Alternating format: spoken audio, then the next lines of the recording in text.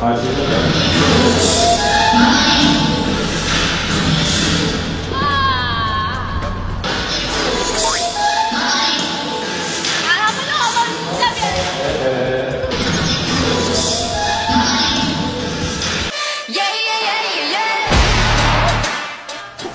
댄스씬에서 터트리는 그런 이펙트를 주기 위해서 먼지랑 이런 거 다 날라와가지고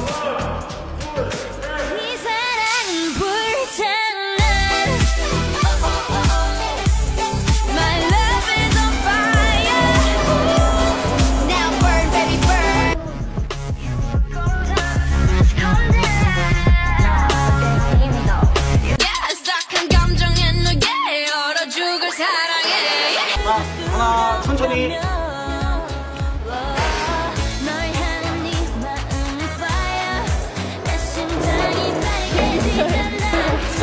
진짜 친구로 행복해요. 무서움과 불편함이 합쳐져서 막